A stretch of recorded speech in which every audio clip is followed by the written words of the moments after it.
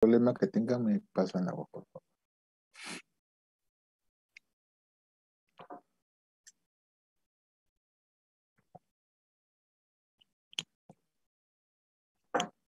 Les cuento que en el hospital de Vitarte, por lo menos lo que es el servicio de gastroenterología, eh, el próximo mes ya va a ser totalmente presencial. Ya no va a haber teleconsultas.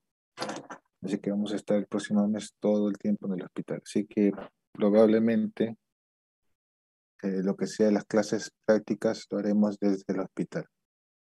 Voy a ver, tener que ver, porque como ahí no tengo conexión wifi, este, voy a decir que el teléfono este, va a permitir una buena conexión. Voy a tratar de, ver qué se puede hacer. Si no, pedir ayuda a, cómputo ahí en el hospital. Bueno, también eso sería bueno, ¿no? Porque de repente por ahí podemos jalar algunos casos del hospital para presentarlos durante las prácticas.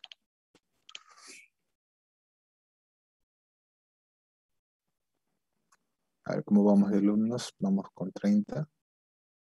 Vamos a ir ya poniendo la grabación. Recording in progress. Antes de que me olvide. Y vamos poniendo ya lo que es la el tema. Vamos a ver eh, el día de hoy lo que son gastritis, helicobacter, cáncer de estómago y un poco de dispepsia. Eh, ¿Alguien les le han diagnosticado gastritis? ¿Alguno de ustedes?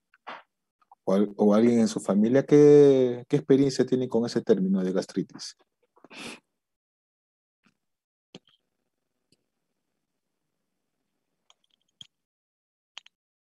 ¿Los escucho? yo, pero en caso de mi abuelo, que llegó a tener úlceras duodenales. ok. y, tú qué relación le ves a la úlcera duodenal con la gastritis? ¿Quién, quién habló? Meli, doctor, yo Meli. Meli, ¿qué relación le ves a la úlcera duodenal con la gastritis? ¿Tienen alguna relación? Claro, que ambos se producen quizá por eh, desórdenes eh, alimenticios, quizá en el tiempo, ambos tienen una, posible misma, misma causa. Ok. ¿Y puede tener una relación causa-efecto? Eh, la gastritis puede anteceder a las úlceras. Ahora vamos a ver un poco de eso. ¿Alguien más tiene alguna experiencia, noción del término de gastritis? Por ahí, gastritis lo están asociando pues con la úlcera duodenal, ¿no? ¿Alguien tiene otra información? ¿O experiencia? Mientras van llegando sus compañeros, vamos conversando. A ver, cuéntenme. Amigo doctor, em, tengo un familiar que pues consume muchos medicamentos. y Muchos medicamentos le dijeron que debido a esto es que eh, tiene su gastritis, ¿no?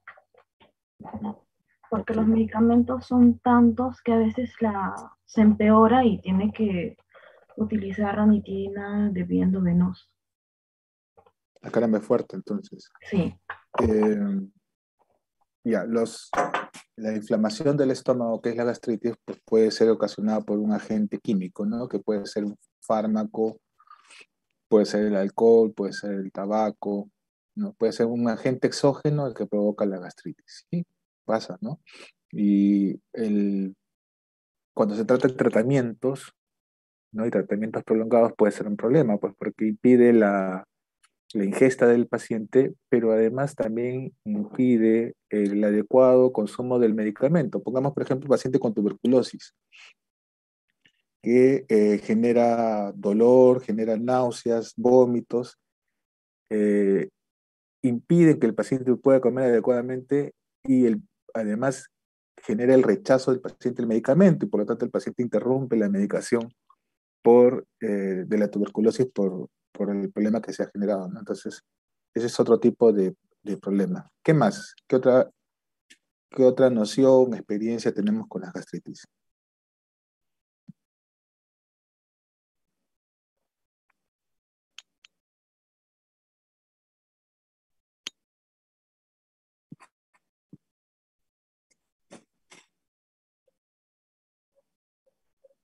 Ok, pero ya somos 36, 37.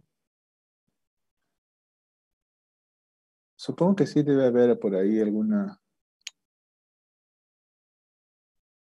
alguna experiencia más. Este, yo les cuento una cosa que, que es medio chistosa es que un paciente un día me dice este, que él tiene gastritis y le digo, ¿mediante qué? Le pregunté mediante qué prueba o examen se había obtenido el diagnóstico de gastritis. Y el paciente me dice, este, pero doctor, yo tengo gases y gas viene, gastritis viene de gas. Así que yo tengo gastritis y usted no me va a... Prácticamente me, me estaba diciendo, Usted no me puede decir otra cosa porque yo sé lo que le pasa a mi cuerpo. Tengo gastritis, conclusión. Entonces, este, ante una aseveración tan, tan este, tajante, es imposible poder refutarle al paciente. Así que hay que buscar otros medios para poder intentar explicar al paciente qué es lo que le está pasando. Este, es, es parte de los problemas de comunicación. ¿no? los problemas de comunicación que tenemos con los pacientes. Lo que para nosotros es gastritis, para un paciente puede ser otra cosa. Entonces entendemos por gastritis un proceso inflamatorio del estómago que podemos tener una evidencia en lo que es la endoscopía, una, este, sospecha ¿no? que es la endoscopía, pero el término Ah, real de gastritis eh, viene confirmado por el hallazgo histológico, es decir, la biopsia nos determina en realidad el, diagnóstico definitivo de lo que es gastritis. Es una enfermedad además bastante frecuente, ¿no? Eh, ya saben ustedes que el helicobacter está asociado y el helicobacter es una, una condición que está en nuestra población bastante bastante presente, es eh, más o menos un 70%, 80% de la población que tiene esta bacteria. Y este, pero además están todas las otras causas de gastritis, ¿no? Por ahí hablaban de comidas, de fármacos, y hay otras formas de gastritis que también están asociadas, que pueden estar presentes. Entonces, es una entidad bastante frecuente. Entonces, vamos a empezar ya con la, con la, con el tema. Este, a las 5 y 15, si pueden poner la, la lista. Vamos a poner presentación completa. Bien. Perdón, ¿usted quiere que a las 5 que pongamos hasta qué hora? A las 5 y 15 está bien, creo. O sea, todavía no lo he puesto para que se anoten. Lo pongo ahorita hasta qué hora. Ah, ya, sí funciona. Yo pensaba que era un corte.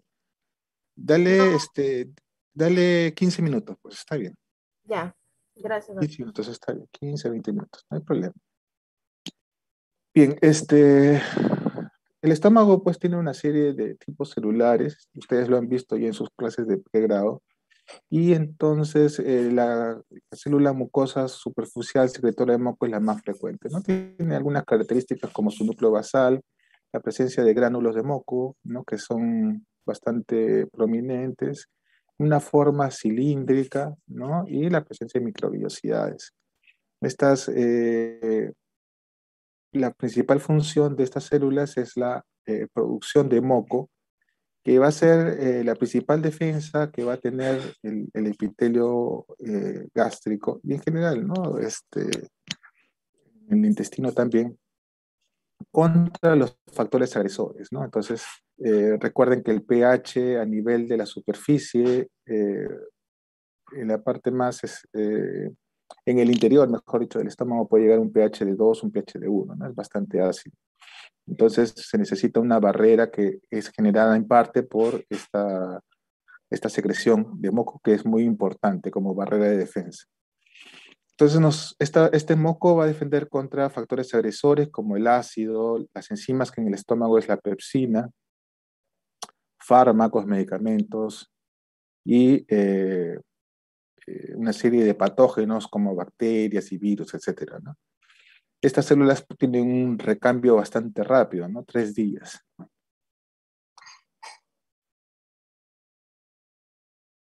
Ok.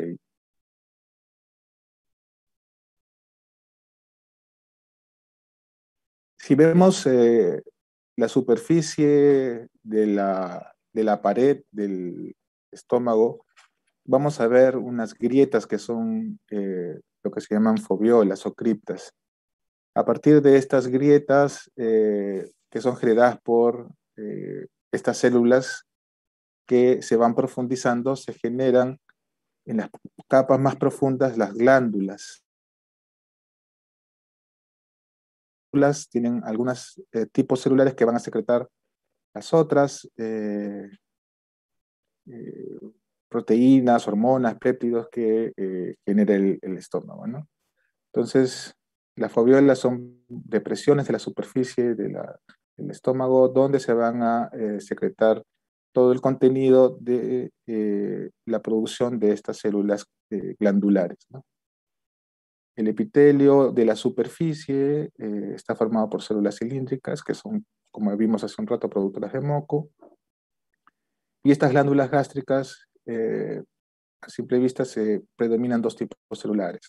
Las más importantes van a ser las que ustedes ya conocen, que son las eh, células principales, que son basófilas, y las células parietales, que son aquellas que, o que son aquellas que son las que están encargadas de la secreción de ácido y de este, el factor intrínseco. ¿no? Eh, estas células principales, por el contrario, son las que van a secretar la pepsina o el pepsinógeno. Como ustedes saben, esta enzima, el pepsinógeno, es secretado como una proenzima y en el estómago, con el acidez propia de la luz intestinal, el pepsinógeno se activa como pepsina. Y finalmente una lámina propia y más profundamente una capa muscular y externamente una serosa.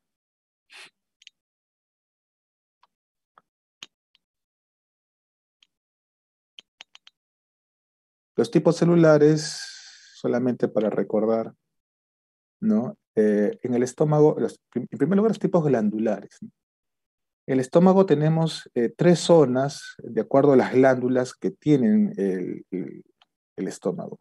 Entonces, existe una, eh, una zona que es la zona cardial, que corresponde con la zona anatómica del cardio, ¿no? que van a tener sus glándulas o sus tipos glandulares que, eh, que se describen bien histológicamente, que es una pequeña porción de más o menos unos 2-3 centímetros, nada más.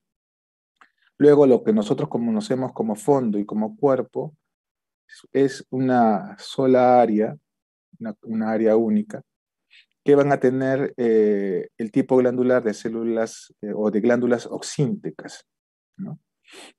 que son las que principalmente esta zona es la productora de ácido, ácido clorhídrico y pepsinógeno. Entonces, eh, histológicamente, esto corresponde, el antro y el cuerpo, a un solo tipo glandular o un solo tipo histológico, ¿no? principalmente. Como ya habíamos dicho, las células parietales van a secretar el, ácido clorhídrico y el factor intrínseco. Por el contrario, las células principales van a producir pepsinógeno. la otra área, que es la zona eh, del antro, antropíloro, es, eh, es donde predominan las glándulas pilóricas, ¿no? Y aquí, eh, en lugar de estos tipos celulares, van a eh, predominar otro tipo de células, pero principalmente las células G, que son las que producen gastrina. Entonces, estas células, entre otros estímulos, eh, van a detectar, por ejemplo, la presencia de alimento, la presencia de la distensión del abdomen, y, perdón, la distensión de esta área que va a detectar la presencia de alimento, y que eh, estimuladas estas células van a producir las gastrinas, que es uno de los mecanismos por los cuales eh, se estimula a las células parietales a producir eh, su secreción principalmente de ácido. Ahora, estas glándulas, esta zona glandular, estas glándulas oxínticas, pues recordemos que tenemos, pues, además de las células, este, las células, este, mm, digamos, epiteliales,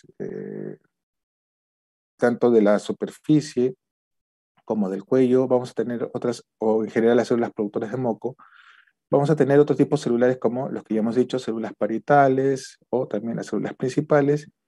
Y también vamos a tener, por ejemplo, las células eh, enterocromafines, que son las productoras de histamina. Recuerden que la histamina es otro factor que está relacionado con la secreción de ácido. Y eh, tenemos las células eh, enterocromafines like, eh, que son las productoras de este, de serotonina, perdón, lo dije al revés. Las, eh, las células enterocromafines LEC, eh, productoras de histamina, y las enterocromafines productoras de serotonina. Ah, luego, pues, en las glándulas pilóricas, nuevamente recordar porque ahí están las células G, tenemos las células D, productoras de somatostatina, que son las que van a este, realizar el feedback para eh, reducir la secreción de ácido. ¿no? Hablamos de eh, una barrera epitelial eh, o una barrera de defensa. Tenemos lo que es una, una, barrera preepitelial, una epitelial y una subepitelial. Entonces, en la preepitelial tenemos la secreción de este moco, que son glucoproteínas principalmente, que eh, a generar una capa de, agua eh, con esta glucoproteína que genera un mecanismo físico, físico-químico de defensa. Eh, esto hace que en el lumen del estómago el, pH que está entre 1 y 2 no penetren esos hidrogeniones en las capas que ya están más en continuidad con la capa celular, ¿no? Donde el pH ya llega a 7, es decir, un pH neutro. El bicarbonato, que es otro componente para la defensa contra el ácido, y los fosfolípidos que están en la misma superficie de las, de las células. La barrera epitelial eh, tiene que ver con los mecanismos de resistencia celular, eh, las uniones que existen entre estas células eh, que, tienen, que impiden la retrodifusión de eh, los hidrogeniones que pueden llegar a esa, zona, la restitución celular, eh, cuando se pierden células, existen mecanismos para poder eh, mm, rellenar, por decirlo así, los vacíos que se van presentando. la producción por estas células de factores de crecimiento y prostaglandinas que ayudan a mantener este, esta vigencia, esta barrera eh, epitelial o esta capa de células indemne y la proliferación celular. Y en cuanto a la protección eh, que es, subepitelial, tenemos principalmente eh, lo que, el flujo de sangre que, llega, que es, digamos, lo que va a dar el aporte del oxígeno, los nutrientes y las, este, el sistema hormonal necesario para mantener el trofismo de, esta, de este epitelio. ¿no? Muy bien. Entonces, este, estas barreras, estas capas celulares, se mantienen indemnes hasta que hay algún factor que, eh, un factor agresor que puede ser tanto exógeno como endógeno. Factores exógenos tenemos al Helicobacter pylori, los antiinflamatorios, irritantes de las comidas, medicamentos, alcohol, tabaco, cáusticos, radiaciones. Factores endógenos, el, ácido propio del estómago, la pepsina, la bilis que puede llegar también al estómago, y por vía sanguínea pues puede llegar eh, la uria y los factores de la defensa, los factores inflamatorios, que pueden eh, generar eh, daño al epitelio. Entonces, las gastritis pueden ser tanto agudas como crónicas. Las gastritis agudas eh, principalmente están relacionadas por la infección por Helicobacter pylori, que no es frecuente detectarla, lesiones agudas por estrés, que son las que se dan en pacientes que están en alguna condición de gravedad, y las gastritis agudas generadas por antiinflamatorios. Más raras que están asociadas con eh, procesos autoinmunes, gastropatías generadas por virus, hongos y bacterias, y las que están relacionadas pues, con eh, cáusticos, radiaciones, reflujo biliar, etc. Ahora, las formas crónicas, este, tenemos las asociadas al Helicobacter pylori, que es lo más frecuente. Eh, hay formas de gastropatía atrófica multifocal por Helicobacter pylori, gastritis atrófica de, eh, del cuerpo de disposición difusa o de distribución difusa que están asociadas a problemas inmunológicos, eh, gastritis químicas, eh, químicas asociadas al consumo de antiinflamatorios y reflujos biliares. Y formas más raras son gastritis por eh, cirugías, por eh, resección del antro, por fenómenos inmunológicos en las gastritis eosinofílicas y formas granulomatosas. Además de las formas hipertróficas como por ejemplo la enfermedad de Menetrier y el síndrome de Solinger-Ellis. Veamos algunos de estos tipos, ¿no? Eh, la gastritis aguda por helicobacter. Cuando ocurre la infección por helicobacter, eh, usualmente esto no es este, fácilmente diagnosticado, ¿no? Y eh, se va a presentar algunos síntomas inespecíficos que van a pasar desapercibidos por el paciente o simplemente se pasan por alto y no se logra descubrir el causante. Entonces, eh, estas formas agudas o estas infecciones agudas se han eh, documentado a través de estudios en pacientes o en, personas que se han este, voluntariamente se han infectado para poder este, hacer la, este, el estudio de cómo ocurre este proceso. Los síntomas que van a aparecer son inespecíficos, eh, como dolor abdominal, náuseas, y estos síntomas eh, rápidamente van a remitir para pasar a una etapa crónica. La histología en estos pacientes lo que se vio es que era un infiltrado a predominio de polimorfonucleares. Entonces, eh, el Helicobacter pylori va a generar un proceso inflamatorio en todos los pacientes infectados, en el 100% de los pacientes infectados. Esta bacteria tiene gran capacidad de poder eh, resistir a los mecanismos de defensa del estómago y vivir y perpetuarse en el estómago. Entonces, por un breve periodo va a ocasionar estos síntomas de enfermedad aguda, ¿no? de gastritis aguda. Se llaman lesiones mucosas por estrés, aquellas ocurridas en pacientes eh, de extrema gravedad, como por ejemplo aquellos que están relacionados con grandes quemados, pacientes con traumatismos encefalocranianos, etc. Y ocurre generalmente en los pacientes que llegan a cuidados intensivos. Eh, los factores asociados eh, son trastornos de la coagulación, ventilación mecánica prolongada. Se postula también eh, como factores que generan esta, este tipo de gastritis o de gastropatías, en todo caso, eh, la secreción, el incremento de la secreción de ácido del estómago, fenómenos de hipoxia. Recuerden que estos pacientes eh, pueden estar en, este, con trastornos hemodinámicos y entonces tener una hipoperfusión del sistema visceral y por lo tanto en el estómago también generar esta hipoxia, ¿no? esta hipoxia local. Disminución de, esta barrera mucosa de la que hablábamos, la secreción de moco, de bicarbonato, que predispone al paciente a eh, el daño por el ácido. Entonces, endoscópicamente, generalmente estos pacientes se reconocen por eh, problemas de sangrados. Es un paciente que está intubado, un paciente que está en coma y que eh, se documenta un sangrado digestivo, sea por sonda nasogástrica, por ejemplo, y entonces al momento de hacer las endoscopías se, se pueden ver eh, erosiones o ulceraciones sangrantes, ¿no? que deben ser tratadas.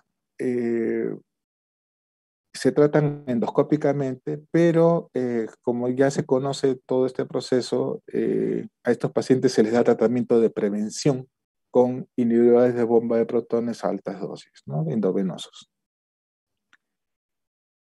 Eh, otras formas de gastritis agudas eh, son, por ejemplo, los virus en pacientes inmunodeprimidos.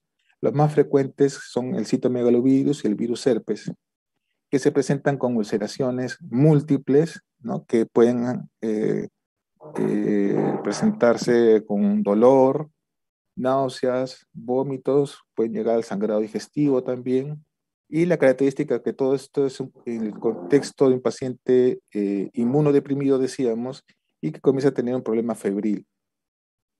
El diagnóstico eh, finalmente se hace por histología, en la cual, por ejemplo, se ven, en el caso del citomegalovirus, las inclusiones citoplasmáticas características. En otros casos eh, se va a requerir de un estudio inmunohistoquímico para poder hacer el diagnóstico específico.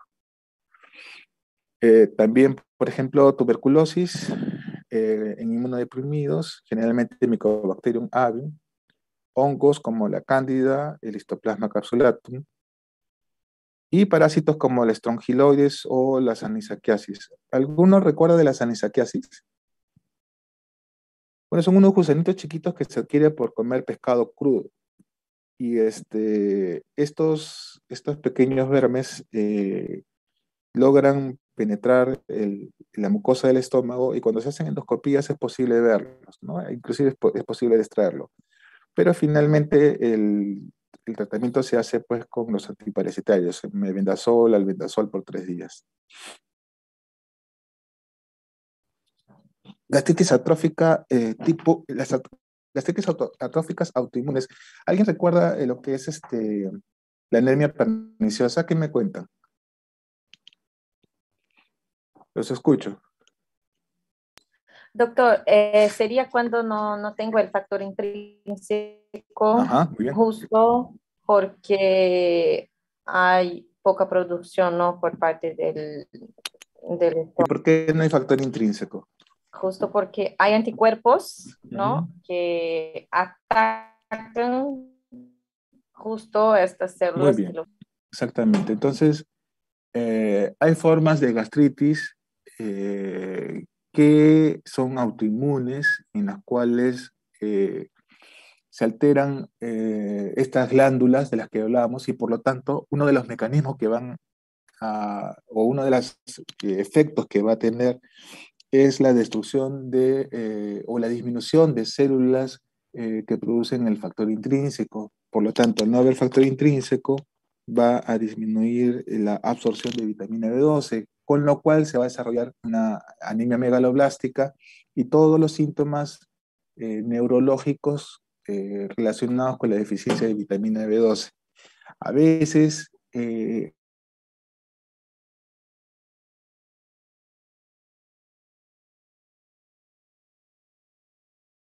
esta gastritis como tal, es decir, lo que desapercibido son porque el paciente no tiene molestias digestivas. Y lo que lleva al paciente al médico es el problema de la anemia perniciosa, es decir, los problemas de, eh, propios de la anemia misma, ¿no? el cansancio, la debilidad y todo eso, y los relacionados con los síndromes neurológicos eh, a consecuencia de la deficiencia de vitamina B12. Inclusive, ustedes saben que la deficiencia de vitamina B12 puede llevar a un problema de este, de diarrea crónica. Entonces, este tipo de, este, de enfermedades eh, son de tipo inmunológico, hay una destrucción de glándulas del, cuerpo del estómago. Decíamos, por eso hablábamos al inicio de, los, de, los, este, de la segmentación del estómago, ¿no? que cuando hablamos de tipos de glándulas, eh, estamos hablando pues de dos, principalmente de dos áreas del estómago. Cuerpo, que se refiere al cuerpo y el fondo anatómicos, y el antro, que es eh, tiene la misma eh, ubicación que el antro anatómico. Entonces, eh, destrucción de glándulas del cuerpo se asocia a los haplotipos HLA-B8 y DR3.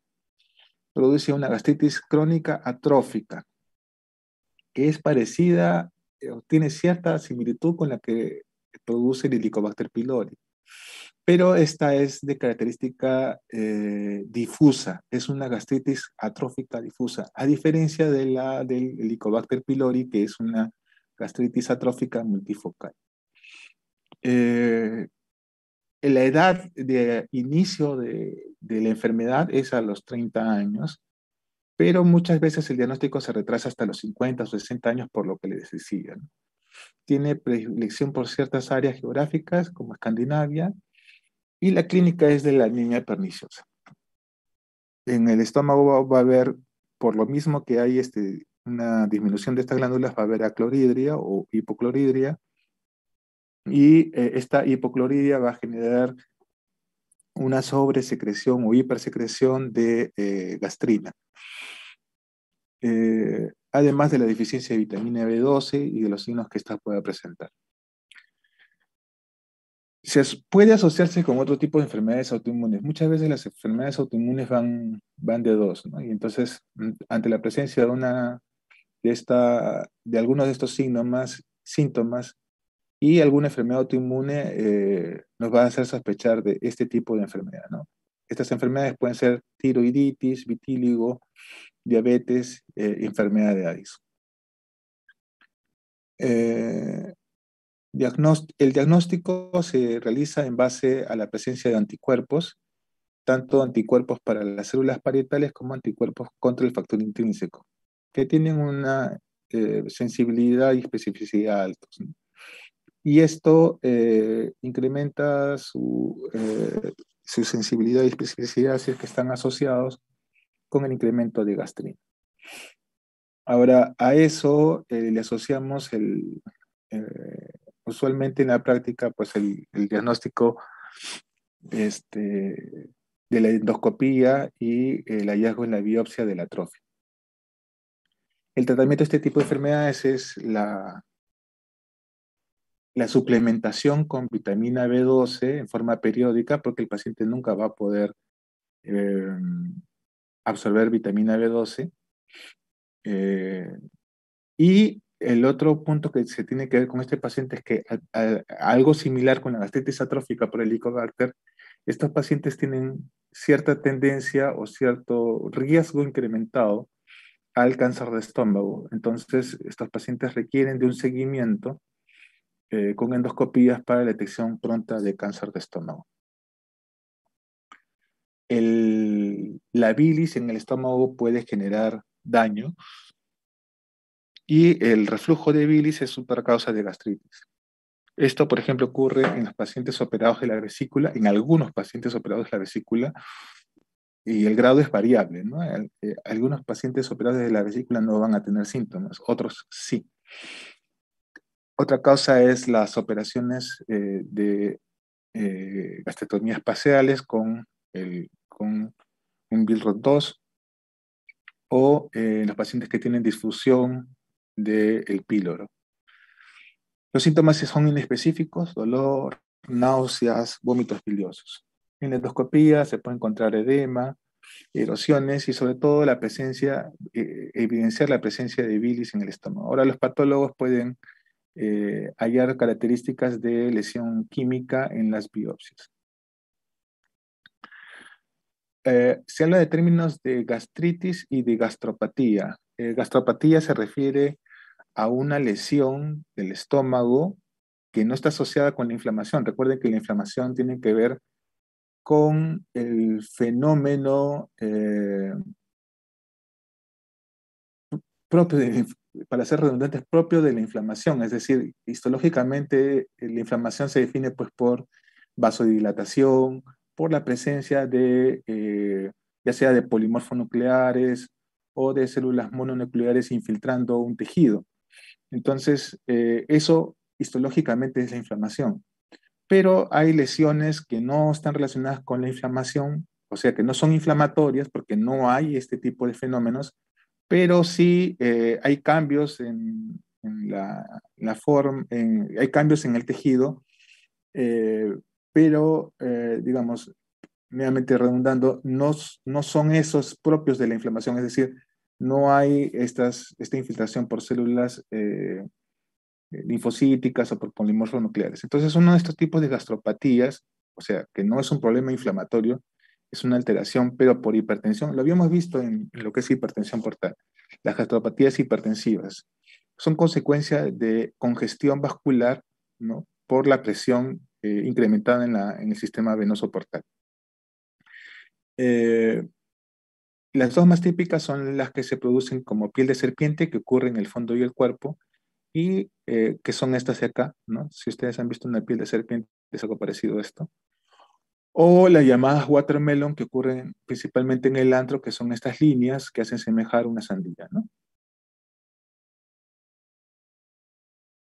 Otro tipo de gastritis es la gastritis eosinofílica, a veces va asociada a esofagitis eosinofílicas también, ¿no? que tienen esta característica en el esófago de esta eh, traquealización, parece una tráquea este esófago, eh, que es bastante infrecuente, ¿no? que se presenta eh, principalmente en niños y jóvenes. estas, estas lesiones de infiltración por eosinófilos en el estómago se asocian pues a también una eosinofilia periférica, pueden infiltrar varias capas del estómago, desde la lámina propia llegar hasta la serosa pueden causar lesiones eh, y daño en, el epitelio del estómago. La afección de esta infiltración eosinofílica eh, puede verse en el estómago, en el esófago y en el duodeno. Y se pueden producir erosiones y ulceraciones eh, que, como decíamos, puede llegar hasta la serosa. Cuando afecta la serosa, puede ocurrir inclusive asitis. El diagnóstico se realiza por exclusión en un paciente con síntomas sugestivos de, enfermedades del estómago. Se realiza la endoscopía más biopsia y eh, la, econdoscopía nos puede eh, dar información sobre las capas que se ven afectadas. El tratamiento es con corticoides. Eh, otra condición que es, en este caso, bastante infrecuente es la enfermedad de Menetrier que se caracteriza por estos pliegues del estómago bastante gruesos que secretan gran cantidad de proteínas y eh, genera una pérdida de proteínas, ¿no? se llaman gastropatías perdedoras de proteínas.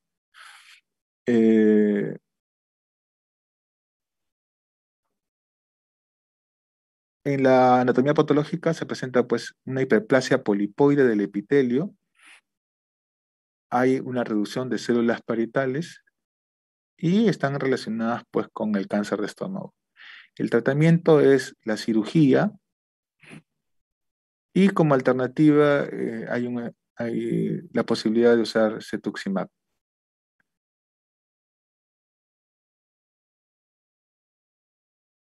Entonces, gastritis, hay varios tipos de gastritis. Aquí no he hablado de gastritis por helicobacter salvo la forma aguda, porque lo vamos a ver eh, más adelante. Entonces, en general, la forma más, más frecuente de gastritis que vemos es la gastritis asociada, la gastritis crónica asociada al Helicobacter. O sea, esto de acá. Tanto la gastritis crónica asociada a la gastropatía asociada al Helicobacter como la gastritis crónica trófica multifocal asociada al Helicobacter. Las formas crónicas de infección por Helicobacter son las más frecuentes. Digamos que las gastropatías o las gastritis por, eh, por y por reflujo biliar serían un poco menos frecuentes y ya todos los demás son este, un poco más raros, pero hay que tenerlos en cuenta. Gastropatías por estrés vemos bastante en los pacientes eh, de cuidados intensivos y generalmente tienen que ver con sangrado digestivo. ¿Alguna pregunta en este ítem?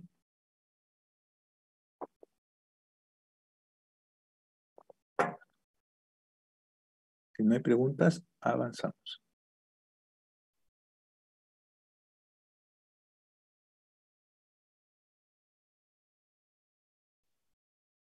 Úlceras pépticas. Péptico se refiere pues al ácido y a las enzimas, ¿no? Porque tanto las, el ácido como la pepsina son los generadores de estas úlceras.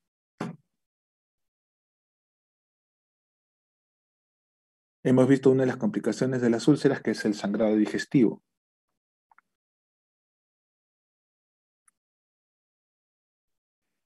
Entonces, úlcera es la pérdida de tejido de la mucosa del estómago o del duodeno que puede penetrar eh, hasta la serosa, ¿no? Puede haber una, lesión eh, penetrante o una lesión que perfore, ¿no? A consecuencia de esta pérdida de tejido. Para ser eh, considerada como úlcera debe medir más de 5 milímetros y tiene que comprometer la submucosa. Estamos hablando pues de términos histológicos. Eh, si se trata de lesiones eh, que no comprometen la submucosa y que son menores a 5 milímetros, entonces estamos hablando de erosiones, de lesiones que además cuando curan no dejan cicatriz entre 5 a 15% de las personas eh, van a tener algún episodio relacionado a úlcera, porque como vemos es una condición bastante frecuente. Y esto va a ser más aún en aquellas personas que este, usan antiinflamatorios, etcétera, y los que están este, infectados por el Helicobacter pylori. Entonces, las dos causas o los dos factores más frecuentes para la úlcera es tanto el Helicobacter pylori como eh, el consumo de antiinflamatorios no esteroideos. entonces, los factores agresores más importantes en el estómago son el ácido y la pepsina. ¿no? El Helicobacter pylori va a generar condiciones que van a permitir eh, una disminución de la barrera de defensa del estómago y van a generar que este ácido y esta pepsina pueda eh, producir estas úlceras. Eh, los antiinflamatorios, de igual manera, eh, al eh, disminuir la prostaglandina, que ustedes saben que la prostaglandina es un factor importante en la protección del estómago, van a generar, por disminución de la barrera de defensa, van a generar también úlceras. El síndrome de Solinger-Ellison eh, más bien actúa por un incremento de la eh, secreción de ácido, ¿no? Son gastrinomas, son tumores secretores de gastrina y eh, van a tener su efecto sobre la producción de ácido y por lo tanto ese, incremento de la, del ácido en el estómago va a generar las úlceras tanto en el estómago como en el duodeno. Una de las características de las, de las úlceras por Solinger-Ellison es que son úlceras múltiples. Otros factores que pueden, eh, que no son causantes, pero que sí pueden aumentar el riesgo de úlceras son el consumo de tabaco y enfermedades como por ejemplo la enfermedad pulmonar, eh, el, EPOC, la insuficiencia renal crónica. Eh, los pacientes con cirrosis frecuentemente tienen úlceras también, los pacientes con diabetes mellitus. Úlceras pépticas Helicobacter pylori secreción ácida. El 77% de los infectados, eh, perdón, el 77% eh, de los afectados por úlcera gástrica tienen Helicobacter pylori. ¿ya? Y el 90% de los que tienen úlcera duodenal eh, tienen Helicobacter pylori. O sea, de todos los que tienen úlcera duodenal, va a haber eh, un 90% que el problema va a estar asociado con el Helicobacter pylori. Y en el caso de la úlcera gástrica es en menor medida, ¿no? un 70-77%. Pero eh, al revés, no ocurre eh, con tanta frecuencia. Los que están infectados por el Helicobacter pylori, no todos desarrollan úlcera. Entonces, existen factores que van, que, que, son adicionales al Helicobacter pylori, factores propios del huésped, o factores que tienen que ver con la dieta o ciertas condiciones propias también del helicobacter, que van a hacer que eh, algunos de los infectados eh, vayan a tener úlceras. Pero como vemos, en la úlcera duodenal, la asociación con el helicobacter es mucho más fuerte que con la úlcera gástrica. En el duodeno puede encontrarse zonas... ¿Qué pasa en el duodeno? Eh, ¿Cómo se produce la úlcera duodenal? En primer lugar, eh, lo que hay es un incremento de la secreción de ácido. El mecanismo de producción de úlcera gástrica y de úlcera duodenal son diferentes. En el caso de la úlcera duodenal, el principal mecanismo para la úlcera duodenal es la hipersecreción ácida. Esta hipersecreción ácida genera en el duodeno focos de metaplasia gástrica. ¿Qué significa? Que aparece tejido similar al gástrico ¿no? en el duodeno. Y estas zonas de metaplasia son colonizadas por Helicobacter dentro del duodeno. Esa es la, eso es lo que se supone la secuencia que ocurre. El Helicobacter eh, en estos focos de, eh, de metaplasia generaría eh, afecciones o alteraría pues la, secreción de moco, alteraría la, la defensa de esa zona, lo cual generaría eh, la lesión a través de este exceso de ácido que se está produciendo. Además, ocurre también que eh, en las úlceras duodenales disminuye, eh, no se sabe muy bien por qué, disminuye la cantidad de bicarbonato en el duodeno, ¿no? Entonces, este, todo este conjunto de cosas, mayor secreción de ácido del estómago, menor producción de, este, de bicarbonato, la presencia de metaplasia gástrica, eh, la colonización por Helicobacter, finalmente toda esa secuencia va a llevar a la aparición de eh, úlceras en el duodeno. En la úlcera duodenal, en las úlceras gástricas, pero que son prepilóricas, y en las úlceras que son, eh, hay personas que tienen úlceras tanto en el estómago como en el duodeno, o sea, que son úlceras gastroduodenales, en todas ellas, el problema es la hipersecreción de ácido. Hay un incremento de la secreción de ácido en el estómago. Y eh, en gran medida, pues, asociadas con el Helicobacter. Eh, en cambio, en la úlcera del cuerpo, del estómago, la secreción ácida es normal o es baja. Entonces, ¿por qué hay úlceras si la secreción de ácido es normal o es baja? Lo que está pasando es que eh, las defensas contra este ácido que está en una, situación normal o en un nivel normal, la barrera, los mecanismos de barrera están disminuidos. La secreción de moco, la secreción de bicarbonato, las uniones de, los, de, los, este, de las células, eh, estos mecanismos se ven alterados y aún con, este, inclusive con una, un nivel de ácido eh, menor a lo normal, podría haber úlceras. ¿no? Entonces, allí el mecanismo difiere en la úlcera del estómago con respecto a la úlcera duodenal. Entonces, úlcera duodenal, úlcera gástrica prepilórica o úlceras eh, gástricas duodenales, el problema es eh, hipersecreción ácida.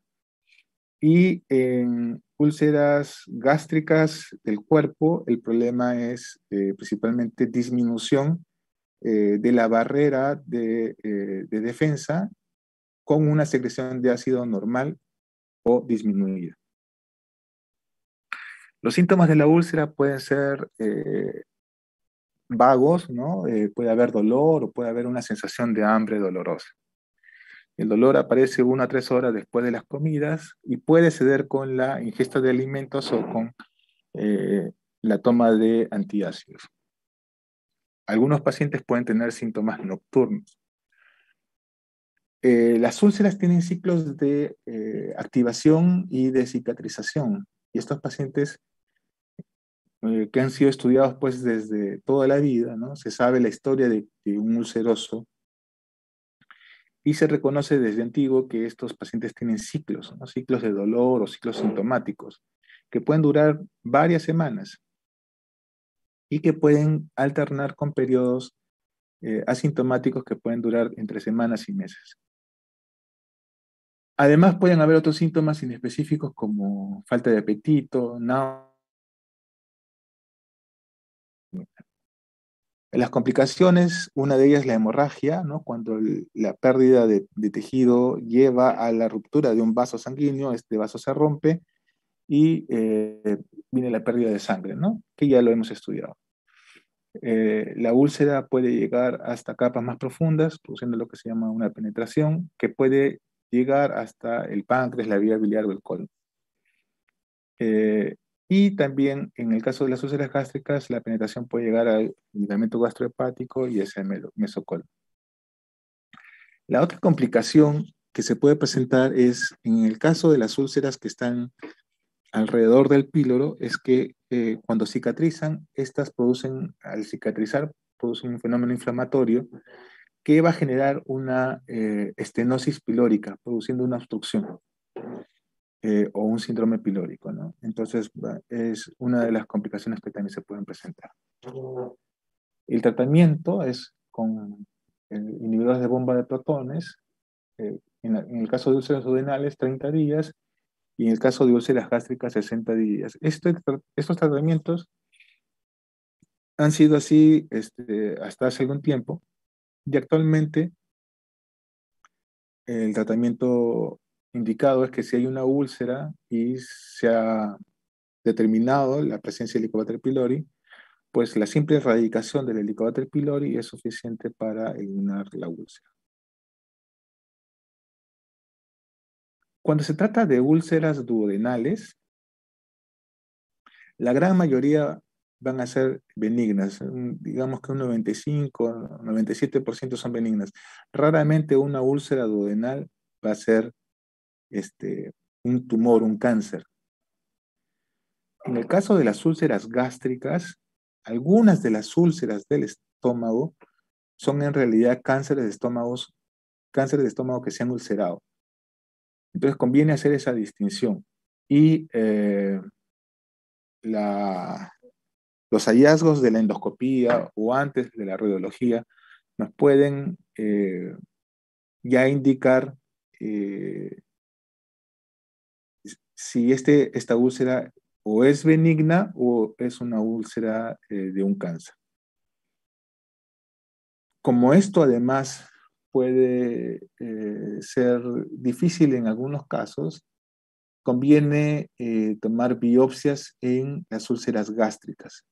No así las úlceras duodenales porque la posibilidad de cáncer es bastante eh, limitada. En cambio, en las úlceras del estómago sí conviene hacer no solamente la toma de biopsias, sino también el seguimiento, porque las úlceras van a, eh, benignas se van a cicatrizar.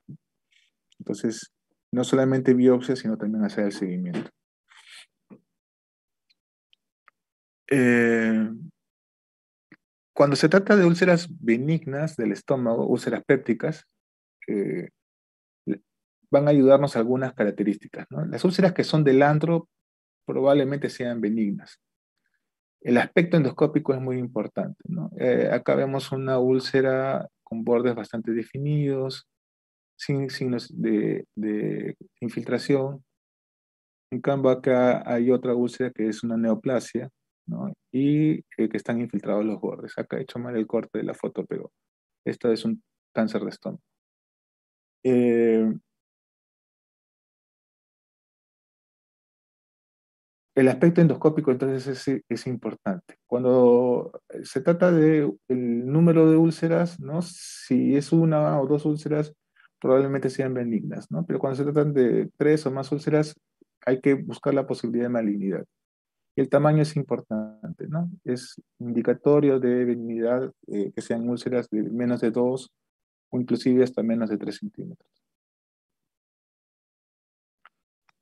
Esta es una neoplasia de estómago que se ha ulcerado, ¿no? Entonces hay que hacer la diferenciación. Y en este caso es una úlcera que se está cicatrizando, está en un periodo de cicatrización. Un llamado H1.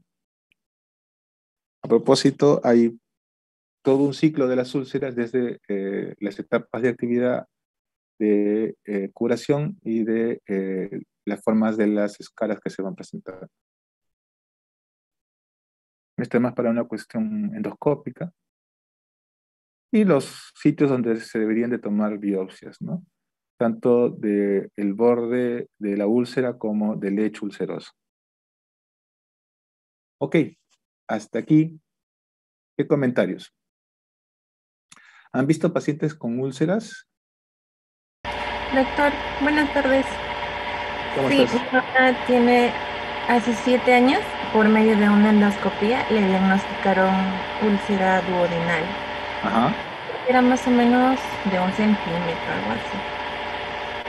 Entonces, Mm, desde ahí, este, bueno, exactamente ya no recuerda desde cuándo, pero siempre cuando come el plátano de cera, es curioso porque esto le causa como un reflujo y siempre su, todo su, eso. Pero en el plátano de, isla no, y así con otras frutas también. Ella trata, ella siempre come saludable y todo eso, solo que eh, el abuelito, su papá, falleció y tuvo cáncer de estómago, así como a los 60, 65. Entonces, este, ella ya no se quiere hacer endoscopía. Me imagino. Ok.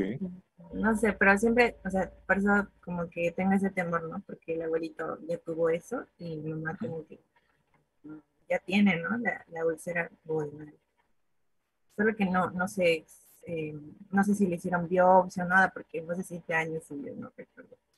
¿Y qué edad tiene actualmente tu, tu mami? Um, tiene 54. Ah, está jovencita tu mami. Mm, sí, este... de vez en cuando se le... ¿Cómo dijo usted? Eh, el abdomen. Ah, ya. Eh, y así tiene muchas leyes, entonces ella se calma con algunas um, hierbas así como muña que le ayudan a las flatulencias. Ok.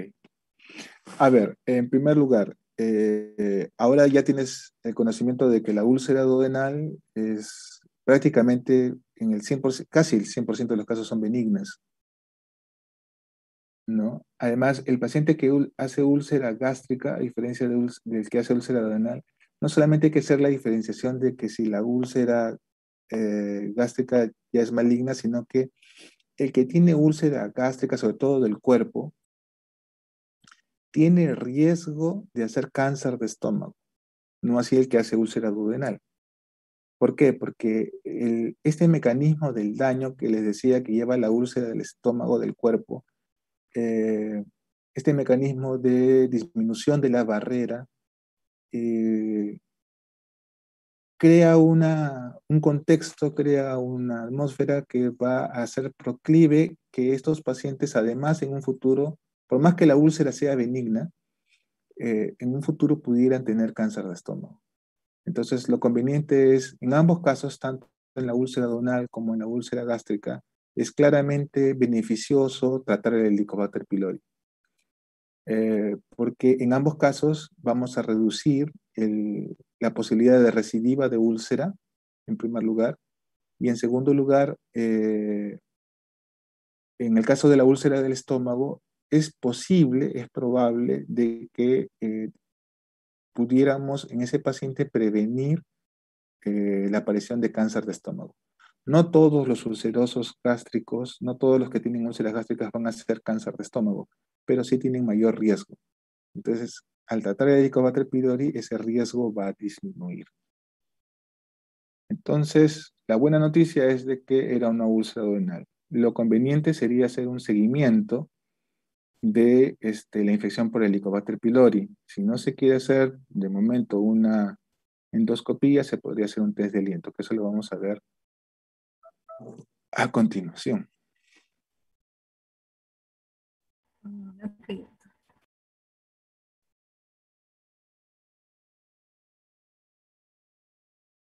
Doctor, eh, yo tengo una pregunta también.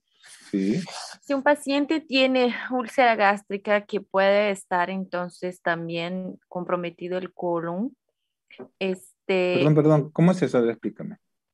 Porque ah, ya, que penetra, penetra. Una, una úlcera gástrica que penetra. Que penetra, ajá si tiene una penetración ahí en el colon, el paciente podría entonces presentar eh, dolor en, el lado, por ejemplo, izquierdo, en cuadrante inferior izquierdo, en esta este parte. Eh, podría decir que después de comer siente un, un dolor en este, en este lugar pero más bien también el dolor de, las úlceras o entonces sería más un dolor de tipo quemante o no podría ser de tipo cólico, ¿verdad? A ver, el, el dolor puede tener diferentes características. Uno de los problemas del dolor en, general en, el aparato digestivo es la subjetividad. Entonces, la descripción del dolor es muy variada. Eh, entonces, no hay un tipo de dolor, en general, un tipo de dolor del, de, las úlceras o en general eh, de, de, de muchos problemas digestivos. Em, o sea que por... Es un poco frustrante el hecho de que este, querer encontrar a través de un tipo de dolor un diagnóstico. Si tú quieres encontrar que cierto tipo de dolor te va a llevar a un diagnóstico, no vas a poder hacerlo. Ya te digo, va desde la subjetividad hasta la variabilidad del dolor. Ahora, hay pautas, hay cosas que sí tienen que ver, la intensidad del dolor o los síntomas que van agregados al dolor o la localización del dolor. Esas cosas son factores que son orientadores. Entonces, en general, el dolor del estómago siempre va a ser en área epigástrica, no va a ser en flancos ni en hipocondres, perdón, ni en fosas ilíacas. Entonces, un dolor eh, por más que sea un dolor del colon, el dolor siempre va a ser, si estamos hablando de úlceras del estómago, siempre va a ser en el área epigástrica. ¿ya? Y es posible que el dolor sea, en los casos de estas úlceras penetrantes, sea un dolor muy intenso. Eso sí, eh, no, es, un, síntoma que nos puede ayudar. Y el hecho de que el dolor pueda ser eh, además un dolor nocturno, un dolor que no, eh, que persiste a pesar de las horas del sueño. ¿no? Son cosas que pueden orientar. ¿no? Finalmente, el diagnóstico se va a hacer con la endoscopía.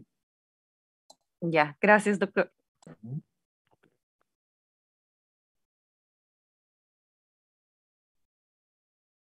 Han tratado de identificar, eh, de acuerdo al tipo de dolor o de acuerdo a la, a la clínica del dolor, identificar desde tiempo atrás, ¿no? A pacientes con, con cáncer, pacientes con úlceras y no se ha podido. No hay dolor típico de cáncer ni dolor típico de úlcera. Por eso es que si uno tuviera una identificación, por ejemplo, como es el reflujo, ¿no? El, síntoma del reflujo es típico, ¿no? La, la, la, regurgitación ácida o la pirosis son altamente diagnósticos como, como síntomas. Pero eso no ocurre pues ni con la úlcera ni con el cáncer. Por eso es que este, ocurre este, ocurre que muchas personas llegan al cáncer y nunca se han, se han enterado de, que lo han tenido. Bueno, vamos a hablar un poco sobre el Helicobacter. Doctor, una preguntita antes de eso. Eh, sobre el dolor, eh, bueno, usted acaba de mencionar que el cáncer y eso, pero hay una diferencia en el dolor de la gastritis y la úlcera, porque no sé, recuerdo que escuché que la gastritis o la úlcera calmaba cuando comía y el otro cuando comía empeoraba. No sé si me estoy confundiendo o tal vez escuché mal, pero ¿hay alguna diferencia eh, entre las comidas entre úlcera y gastritis, el dolor? No. Entonces no, no se podría diferenciar por, por eso. Este, no. No. Ok, doctor. Este, por eso te decía que es un poco frustrante, porque si tuviéramos una, un síntoma típico, por ejemplo, eh, la, indicación de endoscopía sería más precisa y podríamos hacer endoscopía solo aquellos que tienen, por ejemplo, este, alguna, algún síntoma determinado. Pero, como le digo, aquí lo que vemos es al paciente completo, ¿no? El paciente y su dolor. Entonces, pongamos, un paciente de 60 años, que eh, anteriormente, este, eh, digamos, ya ha tenido un diagnóstico de Helicobacter pylori de úlcera, que mm, de repente ha bajado de peso o de repente ha bajado los niveles de hemoglobina, probablemente sea cáncer de estómago, ¿no? Pero en otros pacientes inclusive, simplemente por la edad mayor de 60, mayor de 50 años, simplemente por la edad, con, síntomas muy leves, vamos a pedirle endoscopías. ¿Por qué? Porque esa es otra cosa con el cáncer, ¿no? El cáncer de estómago. Eh, síntomas relacionados al cáncer van a aparecer cuando el cáncer ya está avanzado. Entonces, la indicación de endoscopía es buscar gente con factores de riesgo y no tanto buscar pacientes con eh, eh, un síntoma determinado. Algo parecido a lo que pasa, por ejemplo, con el cáncer de mama. El cáncer de mama, pues, era, pues, este, hay factores de riesgo, ¿no?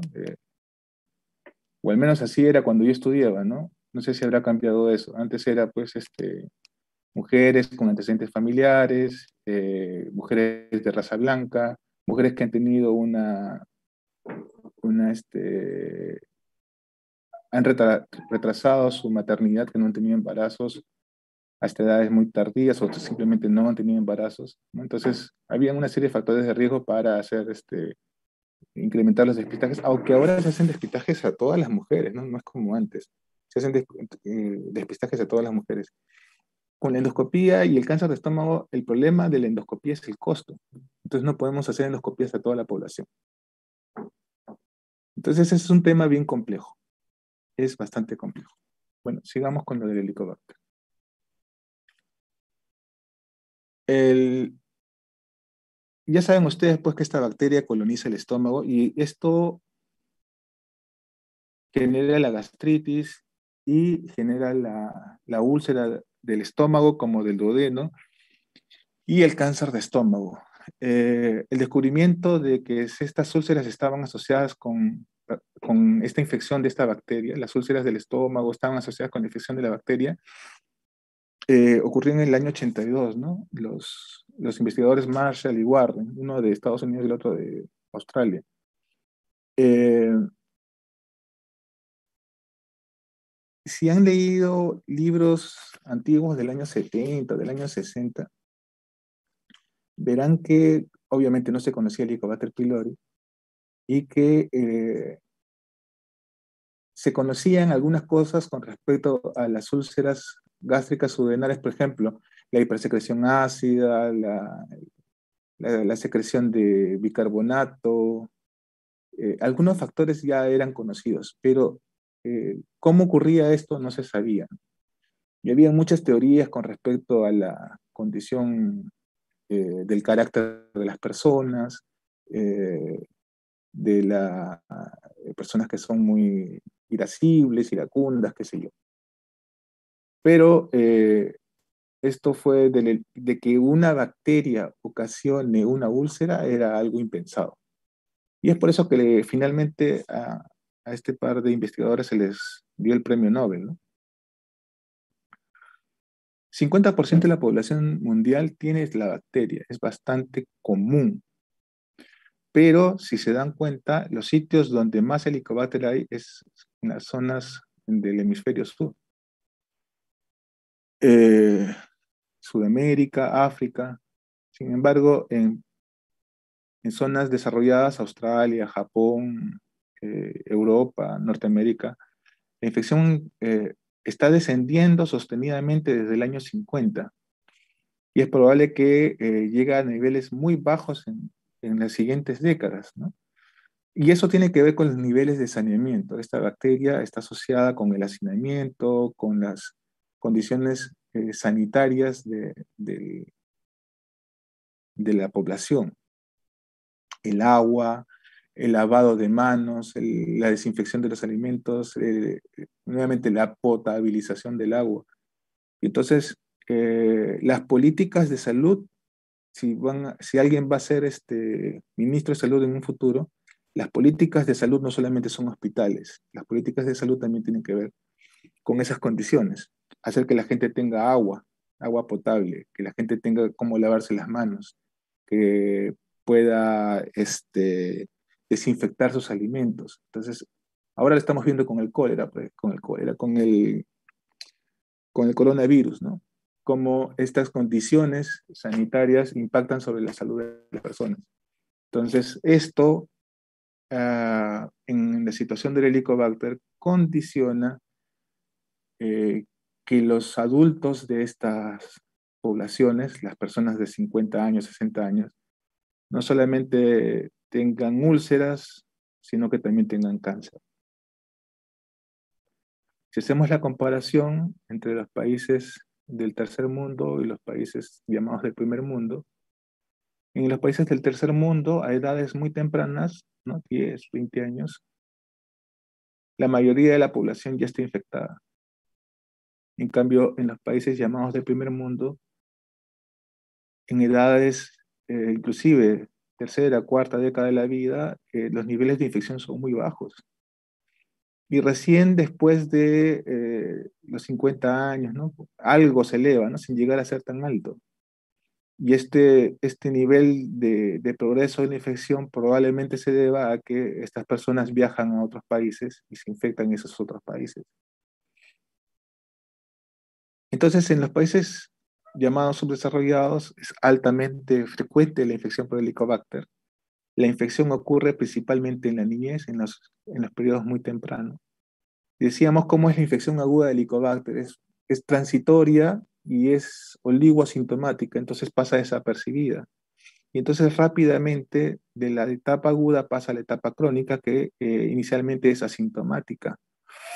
Pero con los años van apareciendo los síntomas de las complicaciones que se presentan, principalmente de la úlcera y, del cáncer de estómago. Se asocia eh, además estos niveles altos de infección con eh, prevalencias altas de úlceras gástricas y del duodeno y con una, prevalencia alta de cáncer de estómago. Así como en el mundo está disminuyendo los, eh, la prevalencia del Helicobacter pylori, estudios en, en, el Perú y en otros países también de en otros, en ciudades de, de, de, Perú y de Sudamérica, donde los niveles y las condiciones socioeconómicas son altas, se ve cómo hay un descenso progresivo tanto de la úlcera gástrica, de la úlcera duodenal y del carcinoma. Y eso se supone que está en relación a una disminución en, estas, eh, en estos niveles eh, socioeconómicos altos de eh, una mejora de los niveles de saneamiento, de salud, de, sanidad, de condiciones, las condiciones de vida de las personas. los que son peruanos sabrán por sus papás, les habrán contado eh, de cómo era antes, ¿no? Antes no había mucho cuidado con el agua y entonces, por ejemplo, el agua se bebía de caño y, este, y era muy común tomar el agua de caño directamente. Eh, ahora que se ha muerto Abimael, de repente escucharán algunas cosas del, del pasado. Este, Llegó, eh, yo recuerdo claramente, una vez que en la ciudad de Lima todo el agua vino turbia y vino con desechos fecales claramente.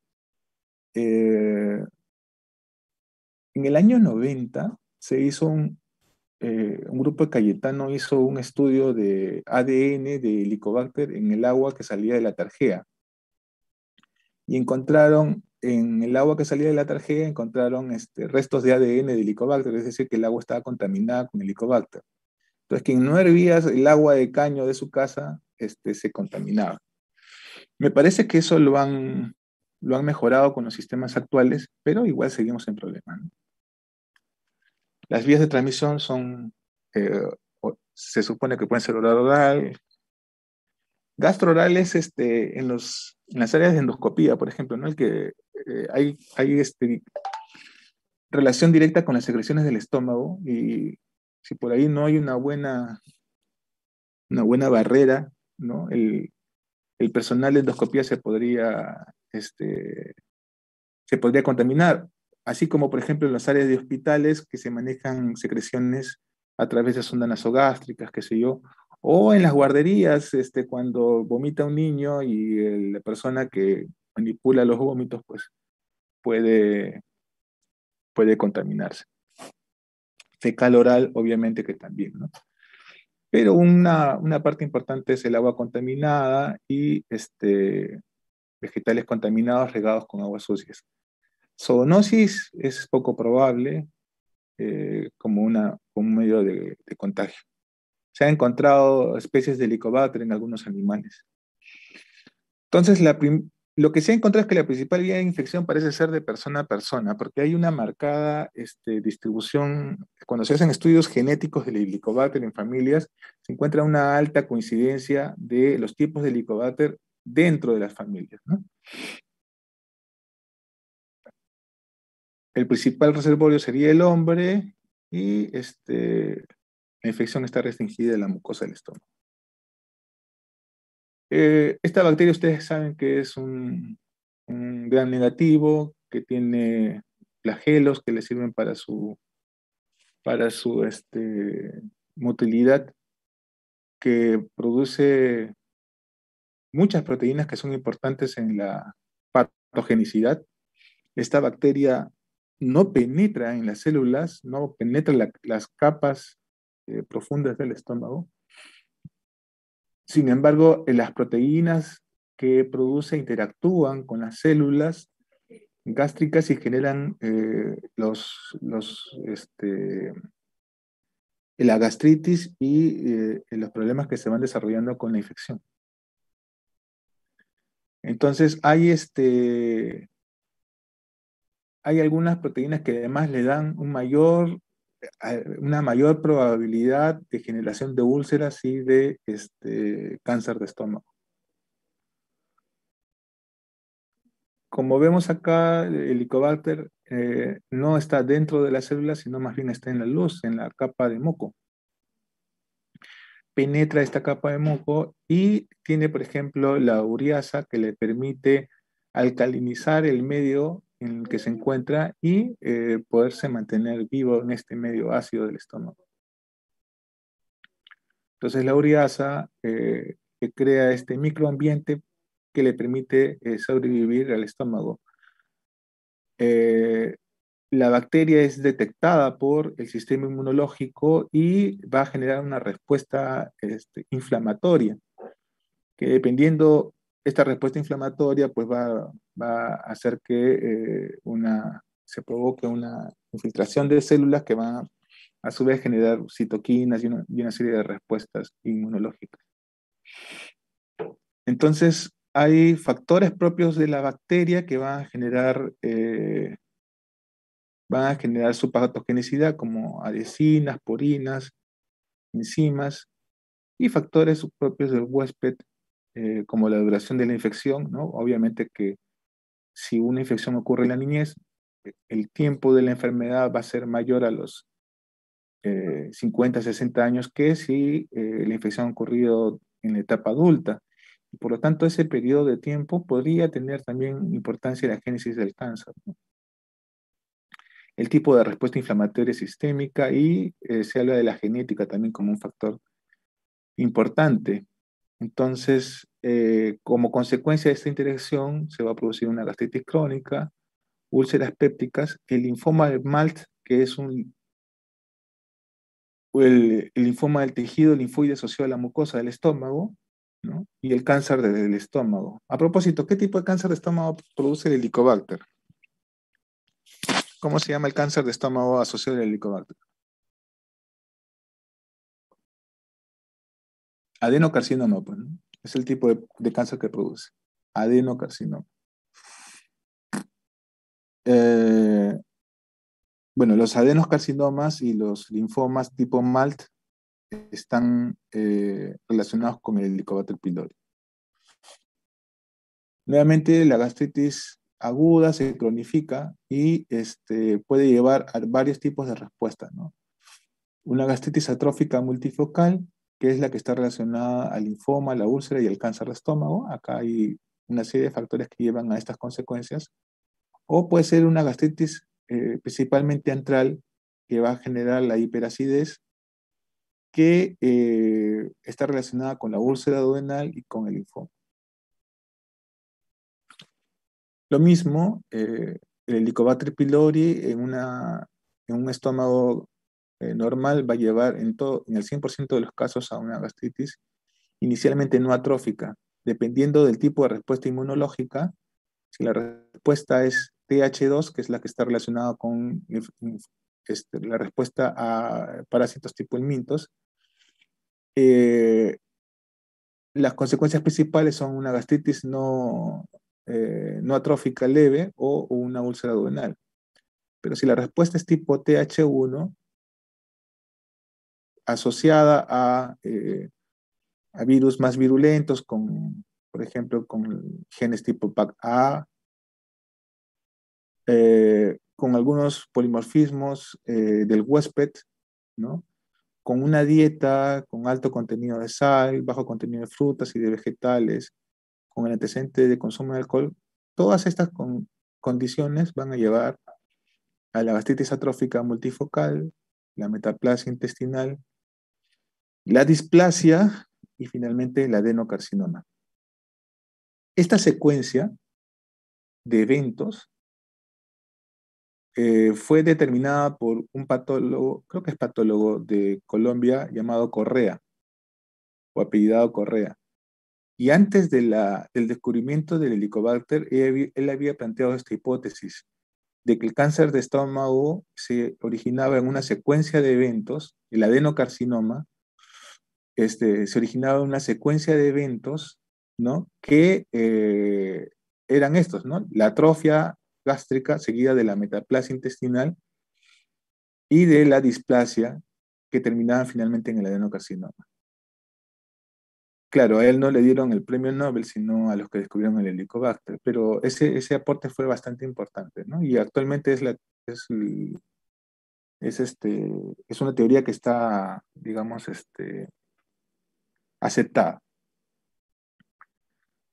Y esto es lo mismo, ¿no? Eh, la gastritis atrófica que lleva a la infección asintomática, la gastritis central que lleva a la úlcera duodenal, la gastritis corporal que puede llevar a la úlcera del estómago, a la metaplasia intestinal, a la displasia y el cáncer gástrico. ¿no? Todo esto en una secuencia de eventos que ocurren en muchos años. La metaplasia, para hablar un poquito de metaplasia, eh, es, eh, ocurre en, eh, sobre un epitelio atrófico. Y esta atrofia es reemplazada por células columnares absortivas y células caliciformes propias del intestino. Eh, cuando recuerdan o cuando semejan al intestino delgado se conoce como metaplasia completa. Mientras que si eh, semejan a las del colon, se les llama metaplasia incompleta. Si vemos un poquito aquí, no sé si se logrará ver en sus pantallas, pero en una endoscopía norm puede o no puede encontrarse metaplasia. ¿A qué en, una persona con metaplasia no siempre es evidente, así vamos a ponerlo.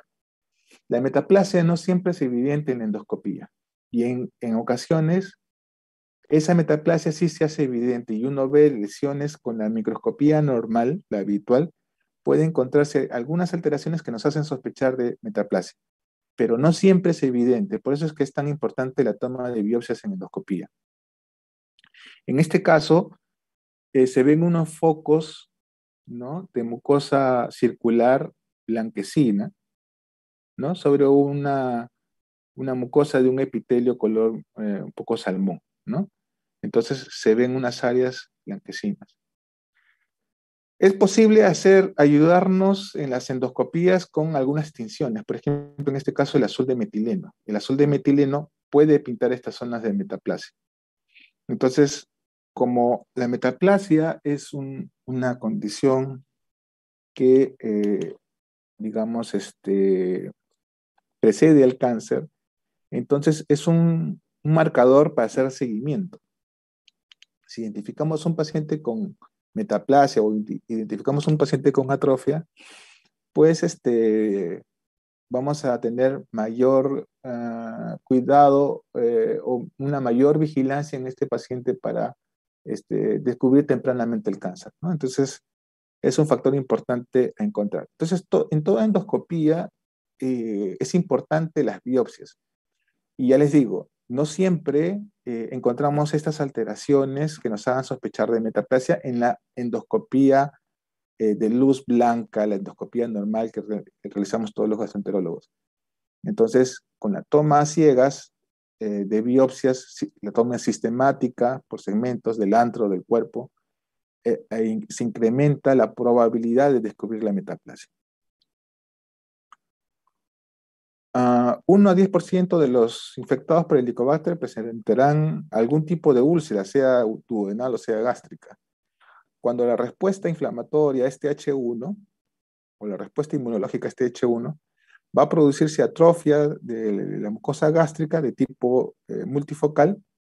Eso va a llevar a una disminución de la secreción de ácido, eh, metaplasia intestinal y la, progresión a cáncer va a ser de 0.1 a 0.5% al año. Además de úlceras gástricas, displasia y cáncer de estómago. Cuando la respuesta es de tipo TH2, la respuesta inmunológica es de tipo TH2, se va a producir un aumento de eh, la secreción de gastrina. Y esta, en algunos casos, eh, este aumento de secreción de gastrina va a generar hipercloridia, hiperacidez, los que hablaba hace un, hace un rato. Esa hiperacidez va a ocasionar en el duodeno, en el, en el mismo duodeno va a ocasionar metaplasia gástrica. Y eso va a llevar a la úlcera duodenal. ¿Qué hace que una respuesta en un individuo infectado por Helicobacter sea de TH1 o sea de TH2? No se sabe, ¿no? No hay una explicación. A los que estudian o los que van a estudiar inmunología, por, por ejemplo, ese sería un tema interesante, ¿no? A los que se van a dedicar a la inmunología. Cómo, cómo, este, cómo es que eh, la, respuesta inflamatoria se va a uno o hacia otro lado. Decíamos que también el, el está asociado con un tipo de linfoma, que es el linfoma MALT, que es responsable del 50% de los linfomas no Hodgkin del estómago. También puede haber anemia ferropénica, es decir, que los infectados por Helicobacter pylori pueden tener pérdidas, como hablábamos la vez pasada, ¿no? pérdidas este, no significativas de, sangre, pero que en el tiempo van a llevar a anemizar al paciente, ¿no? y eh, van a llevar a una depresión de los, este, de los, del almacenamiento de hierro. También se ha asociado con eh, púrpura trombocitopénica idiopática o inmunológica, eh, con deficiencia de vitamina B12, ¿no? parecido a lo que es la, la gastritis eh, de tipo autoinmune, ¿no? y también este, que no está acá con ciertos tipos de dermatitis alérgicas, entonces, a gastroenterología muchas veces nos llegan pacientes con trombocitopenia que no son cirróticos, que han sido estudiados por hematología y que no encuentran una, una asociación de esta púrpura trombocitopénica con algún germen conocido y le han encontrado Helicobacter pylori. Entonces le damos tratamiento para el Helicobacter, erradicamos el Helicobacter y eh, la púrpura regresiona. Lo mismo con las otras condiciones, ¿no? El linfoma MALT, cuando el linfoma MALT es de bajo grado, y eso lo, informa el patólogo, eh, si el linfoma MALT es de bajo grado, luego del tratamiento el linfoma regresiona. Eh, se puede mejorar la anemia ferropénica de los pacientes, eh, además, bueno, de, darle tratamiento con hierro, se puede evitar la recidiva de la anemia tratando con el Helicobacter pylori. Y lo mismo con lo de la vitamina B12. ¿Cómo hacer el diagnóstico del Helicobacter? Existen test que son invasivos, que significa básicamente el uso de una endoscopía, y test no invasivos. Los test no invasivos son el test de aliento, que usa eh, urea marcada con carbono, carbono 13 o carbono 14, eh, hay eh, pruebas de detección de anticuerpos en sangre, tipo IgG e IgM, y detección de antígenos en heces, mediante técnicas de LIS. En el Perú eh, existen los dos primeros, ¿no? test de aliento y detección de anticuerpos. si ustedes leen publicaciones en España, por ejemplo, hacen, ellos hacen, por ejemplo, detección de antígenos en heces el problema con la detección de antígenos de heces es este, el manejo de la muestra, que es, según dicen, es complicado. Entonces, eh, mm, no se hace acá en Perú, pero tiene una alta efectividad, tan alta como la del test de aliento. Entonces, los mejores test no invasivos que tienen tanta efectividad como una endoscopía con biopsia son el test de aliento y la detección de antígenos en ese, solo que esto no lo tenemos en Perú. Y en cuanto a la detección de anticuerpos, eh, su sensibilidad y especificidad son bajas. Y además está el hecho de que cuando, por ejemplo, una persona es tratada por el Helicobacter, los anticuerpos permanecen positivos. Entonces, eh, no, se, no se está bien establecidos si eh, en algún momento después del tratamiento los anticuerpos van a desaparecer y de repente determinar mediante la negativización de los anticuerpos eh, la respuesta a la terapia. Como eso no está bien establecido, el control después de un tratamiento no se hace con anticuerpos, no se podría hacer con anticuerpos, sino con un test de aliento o con otro tipo de prueba, ¿no? Pero los anticuerpos, en todo caso, son eh, tienen bajo valor diagnóstico, en primer lugar, y no son en nada útiles al seguimiento de un paciente tratado con Helicobacter pylori. En cuanto a test invasivos, eh, es decir, de aquellos en los cuales se usa la endoscopía, tenemos el test de la ureasa, ya decíamos que la bacteria tiene esta enzima, y lo que se hace es eh, tomar las biopsias, tomar muestras de tejido del estómago y con eso, eh, en esas eh, muestras de tejido, en, esas, ese tejido que se ha extraído, se supone que debe estar el helicobacter. Y si está el helicobacter, eh, está la ureasa. Entonces, el este, esta muestra se coloca en un reactivo asociado a, a, una, a, una, sustancia que permite el cambio de color. Si la ureasa está presente, entonces eh, la prueba va a cambiar de, color, de un color transparente o amarillento a un color medio rojizo.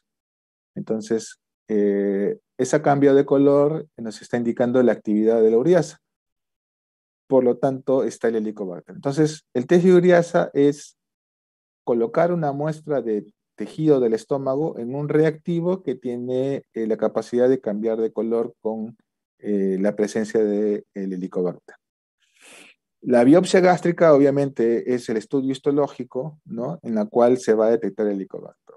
Eh, un pequeño problema es que puede ser operador dependiente, pero en Perú ya es bastante común que los patólogos vean muy bien o detecten muy bien el helicobacter, ¿no? Entonces, este, actualmente yo creo que esto no es un problema, ¿no? La mayoría de patólogos reconocen muy bien porque es una una condición bastante frecuente.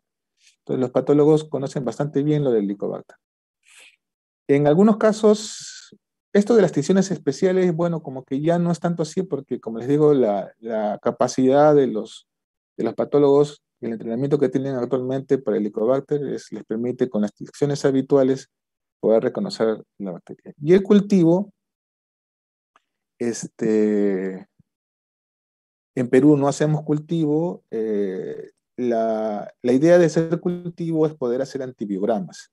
O sea que cultivo no se hace tanto para el diagnóstico, sino poder tener un antibiograma y poder determinar los antibióticos a los cuales es sensible el helicobacter. Y entonces eso sobre todo se usa en los pacientes en los cuales hay eh, fracasos en el tratamiento, dos fracasos o tres fracasos en el tratamiento, y entonces eh, se requiere de un estudio para poder determinar la sensibilidad de los antibióticos para poder dar una terapia más apropiada.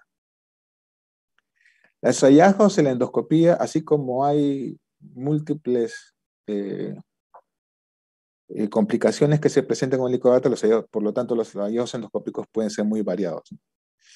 Eh, por ejemplo, puede haber una, una nodularidad en la pared del estómago, ¿no?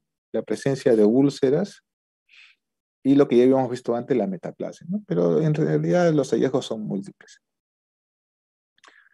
Eh, les decía lo, de la, lo del test de la ureasa, en la cual el, la muestra de tejido ha sido introducida en el, en el reactivo y este va a cambiar de color. Las biopsias endoscópicas, eh, donde se permite ver el helicobacter en, eh, fuera de la capa celular, en la luz, eh, en la capa, prácticamente en la capa de moco, ahí vive el helicobacter. Y bueno, finalmente los cultivos. El test de aliento, les decía, pues este, que se realiza soplando, aquí está soplando una bolsa, ¿no? Esa bolsa eh, a ver, primeramente al paciente se le da un, líquido eh, que contiene la urea marcada. Eh, media hora después se le hace soplar al paciente. ¿Qué es lo que está pasando? Esta urea marcada con carbono 13 o con carbono 14, al entrar en el estómago, si está el helicobacter, va a desdoblar esta urea en amonio y CO2.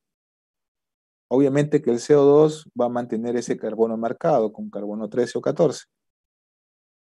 Y este, este CO2 es expulsado por los pulmones.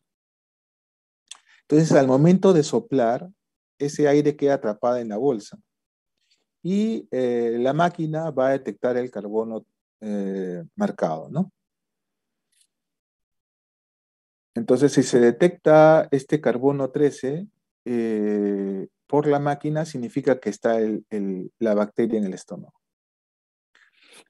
Eh, en cuanto al tratamiento, pues son tratamientos, las bases del tratamiento es que debe haber por lo menos, hay tratamientos triples, hay tratamientos cuádruples, hay multiplicidad de tratamientos, va a depender eh, de las susceptibilidades locales, ¿no? O sea, el tratamiento inicial es un tratamiento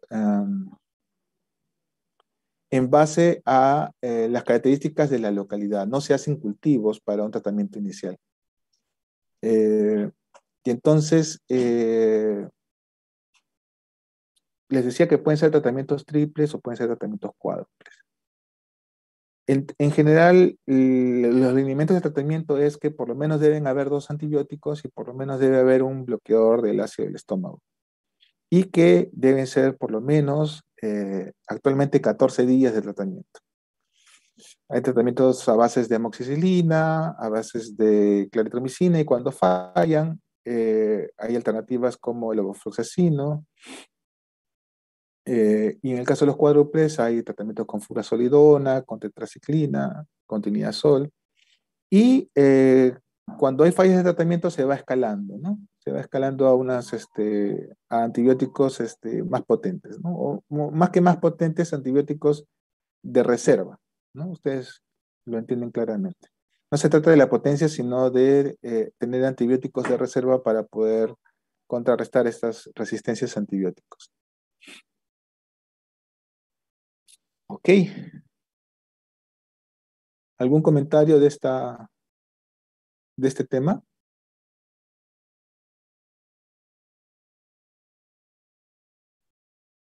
¿Alguien ha tenido helicobacter y le han tratado? ¿O cómo le han hecho el diagnóstico? Mm, doctor, eh, mi papá tuvo, bueno, no sé si tuvo o tiene helicobacter hace unos cinco años. Le dijeron que tenía y que eso era muy peligroso. Bueno, en ese tiempo no sabíamos mucho de esto. Y le dijeron que el tratamiento era muy fuerte y le dijeron que como no tenía eh, úlcera, o sea, solo tenía helicobacter, eh, que mejor no se tratara, que el tratamiento era más agresivo. No sé, no sé si era verdad, entonces. Ya. Ok, interesante lo que estás diciendo, porque sabemos que el helicobacter es eh, potencialmente generador de cáncer y generador de úlceras. Y sabemos eh, que puede ser tratado. Ahora, no todos hacen cáncer, no todos hacen úlceras. Y entonces, ¿a quiénes tratar? ¿Es conveniente tratar a todos? ¿Cómo saber que una persona que no, tiene cáncer ni úlcera lo va a hacer en un futuro? Entonces ahí vienen eh, problemas, ¿no? Porque si tenemos que 70, 80% de la población tiene helicobacter, entonces significaría que el 70 o 80% de la población hay que darle antibióticos. Estamos generando los gastroenterólogos más resistencias a antibióticos de los que ya existen. Entonces, esos son temas que están en discusión. Actualmente una, una, este, una forma de pensamiento que se, que se está dando es, sin contraste, primero, busca el helicobacter donde creas que es conveniente, ¿no? Bajo ciertas condiciones. Pero si lo encontraste, por ejemplo, en un paciente que tiene dolor abdominal, ya vamos a hablar de la estrategia de buscar y tratar, ¿ya? Y este, o en un paciente que tiene una úlcera, o un paciente que tiene un dolor, qué sé yo, ¿no? Bajo ciertas circunstancias, algunas personas vamos a buscar el helicobacter por alguna razón, por algún motivo. Y entonces, en aquellas personas que hemos encontrado el helicobacter, mejor tratar. Esa es una acepción o una forma de pensamiento que tiene mucha aceptación, ¿no? Si no lo piensas tratar, entonces mejor no lo busques. Es una forma de pensamiento. Ahora, obviamente, tienes, si tienes el, ¿cómo se llama esto? Un paciente con sospecha de una úlcera, tienes que buscarlo, pues, ¿no? Si tienes un paciente con mucho dolor abdominal y no sabes qué es ese dolor y encuentras el Helicobacter, pues tienes que tratarlo. Entonces, si lo buscaste, si lo encontraste, mejor tratarlo. Ahora, ¿a qué se refiere eso? Que no se deberían hacer búsquedas a ciegas. Es decir, buscar a todos los pacientes, a toda la familia, a todas las personas buscar el Helicobacter, porque vamos a encontrar de todas maneras y vamos a tratar a mucha más gente si hacemos esa, si tomamos esa opción, esa política. Entonces, hacer cribados de Helicobacter no, es, no sería conveniente bajo esa perspectiva. ¿no? porque estaríamos incrementando el uso de antibióticos y probablemente las complicaciones que se deriven del uso. ¿Qué complicaciones pueden haber por el tratamiento de Helicobacter? Pues, primera barrera para el tratamiento, el costo. ¿no? Más o menos el tratamiento actualmente debe vender entre los 250 y 300 soles. Primera barrera es el costo. Segunda barrera es los efectos adversos. Eh, náuseas, vómitos, diarreas por antibióticos, eh, y hemos hablado de hepatopatías por medicamentos. Es posible que de repente haya algún tipo de, reacción adversa a medicamentos, sea dermatológica, eh, sea hepática, etcétera, ¿no? Más frecuentemente dermatológica, ¿no? Eh, por ahí alguna reacción hipurticaria, qué sé yo. Pero por lo general, los tratamientos eh, son suspendidos por el paciente en el mayor número de casos por dolor abdominal y por diarreas. Eso es lo más frecuente. Tanto así que en ciertos grupos de personas se usa, el, sobre todo en personas mayores, eh, se da el tratamiento asociado a probióticos, lo cual incrementa aún más el costo del tratamiento. Con la, la, tingencia de que eh, el tratamiento no es 100% efectivo. La efectividad ronda alrededor de un 80%. En el mejor de los casos va a superar el 90%, dependiendo el país y de las resistencias antibióticos que se presenten. Esos son los problemas que hay con, el tratamiento por eh, Helicobacter. Y muy buena la tingencia que hace la compañera. Eh, ya, le hicieron una endoscopía, no le encontraron úlceras, no le encontraron alteraciones significativas en el estómago, una persona de 50 años, pero por algo se hizo la endoscopía, tiene dolor.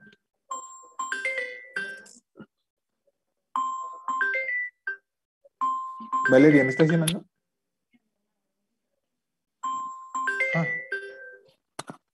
Este, perdón, me perdí. Este, Ah, ya, el dolor, ¿no? Si la endoscopía es negativa, no hay úlceras, no hay mayores alteraciones, pero le hicieron por algo la endoscopía, decía, de repente la endoscopía le hicieron por dolor. En ese grupo de pacientes que no tienen úlceras, ni tienen, este, ni tienen cáncer, que tienen helicobacter con una gastritis superficial, pero tienen dolor, va a haber un grupo pequeño, un grupo reducido, que tratando el helicobacter el dolor va a desaparecer. Entonces, hasta inclusive por eso sería conveniente tratar el helicobacter porque mejoraríamos en, en, algún aspecto el dolor. Ahora, ¿qué tanto tiene que ver eso con el efecto placebo? Pues hay que hacer estudios, ¿no? Porque es probable que el paciente, al sentirse libre de la bacteria, pues la sintomatología mejore por, simplemente por ese efecto placebo, ¿no? Entonces, este, eso está, digamos, hay hay un terreno de, duda con respecto al tratamiento del Helicobacter en ciertas personas. ¿Dónde no queda duda de tratar el Helicobacter? Bueno, cuando hay alguna de esas condiciones o esas complicaciones que hemos mencionado. Úlceras duodenales, gástricas, en pacientes que han tenido cánceres de estómago y han sido resecados, obviamente que tengan estómago, ¿no? Porque si le han sacado todo el estómago, ya para qué tratar el Helicobacter, ¿no? Este, en los pacientes que tienen púrpuras trombocitopénicas autoinmunes.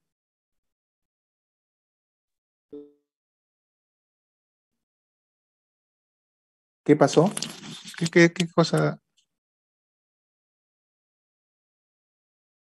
Doctor, disculpe.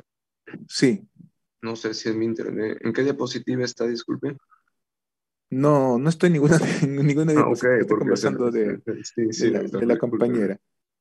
Este, este, sí, estábamos conversando. Ok, perfecto. Entonces, eh, les decía, ¿cuándo tratar el Helicobacter? En primer lugar, una regla no escrita es en todo paciente que se encuentre. ¿Cuándo tratar definitivamente o, en, qué, situaciones hay mucha evidencia que el tratamiento va a ser de un beneficio importante. Es decir, úlceras gástricas duodenales en pacientes que hayan tenido cáncer de estómago que se hayan eliminado, en los pacientes que tienen linfoma mal de bajo grado, eh, en los pacientes que tienen alguna de estas complicaciones como eh, anemias ferropénicas, eh, púrpuras trombocitopénicas autoinmunes,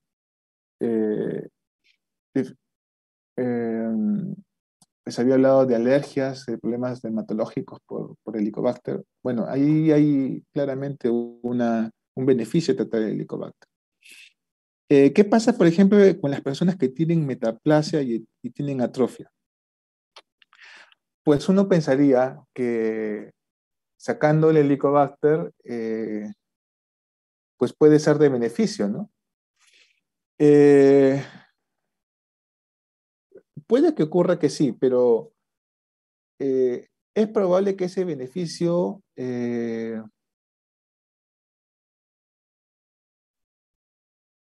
sea limitado, ¿no? Que el proceso que provocó la metaplasia y la atrofia persista a pesar de que ya se erradicó el helicobacter. Entonces, este, bueno, eso es lo que hay ahorita. Pero interesante la pregunta. ¿Alguien más?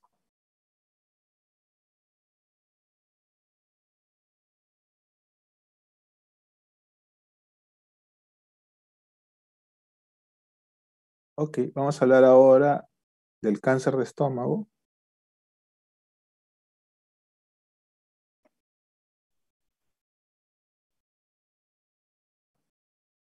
Em, vean que a nivel mundial, el cáncer de estómago es el quinto en incidencia, ¿no? Y en cuanto a mortalidad es el tercero. ¿Qué pasó? ¿Por qué es el tercero? Si vemos acá, el de incidencia es el de los que están antes que el estómago es pulmón, mama, colon y próstata. ¿Y aquí qué pasó? Este, mama y próstata desaparecieron en frecuencia de mortalidad. Eh, o, o siguieron, se fueron más abajo. Entonces, lo que pasa es que probablemente el tratamiento y la detección más temprana de próstata hacen que la mortalidad de estos descienda con respecto a la incidencia. Eh, en caso con respecto al cáncer de estómago, eh, su detección por lo general es tardía. Es difícil encontrar cánceres gástricos tempranos. Y eh, hay una alta tasa de incidencia de cánceres avanzados que inclusive ya están en estadios, digamos, que van a, van a tener poco éxito los tratamientos.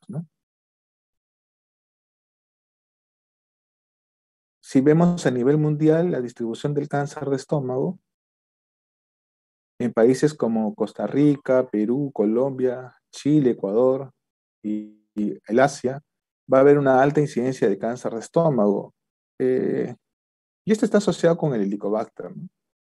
Pero en África también hay bastante helicobacter. ¿Por qué no tiene, por qué no está así del mismo color?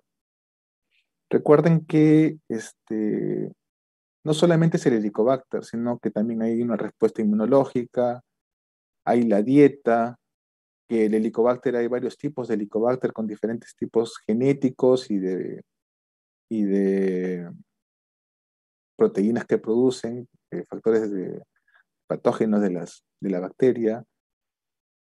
Eh, los polimorfismos genéticos de la persona. Entonces, eh, hay algo que, o hay, digamos, algunas situaciones que hacen que en el África, a pesar de tener, o en los países del África, mejor dicho, a pesar de tener una alta incidencia de cáncer de estómago, perdón, de Helicobacter pylori, eh, la gran mayoría de los países africanos no tengan tanta incidencia como, por ejemplo,